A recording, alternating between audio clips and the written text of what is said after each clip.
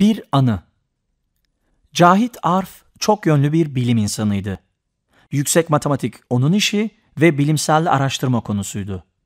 Cahit Arf gerek çalışma arkadaşlarıyla gerek öğrencileriyle çok iyi ilişkiler kurmuştu. Sık sık onları evine davet eder, birlikte yemek yer, sohbet ederdi.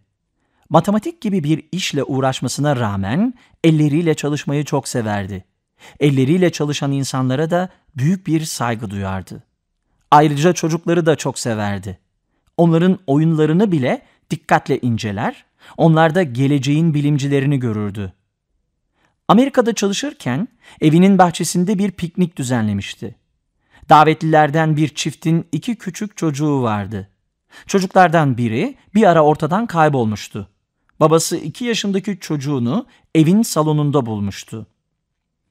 Baba çocuğunu ne yaparken bulmuş olabilir?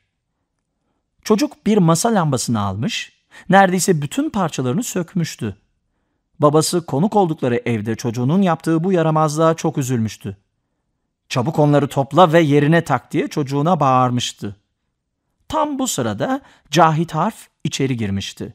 Durumu görünce, Cahit Harf durumu görünce ne demiş olabilir? Kahkahalarla gülmeye başladı. İki yaşında bir çocuğun bunu yapabilmesine çok şaşırmıştı. Konuğuna, bırak çocuğu kendi haline ne isterse yapsın dedi. Küçük Ali uğraşa didine bütün parçaları topladı ve eskisi gibi yerlerine taktı. Lambayı yeniden sehpanın üstüne koydu. Cahit Arf bu olay üzerine Küçük Ali'ye bir de isim takmıştı.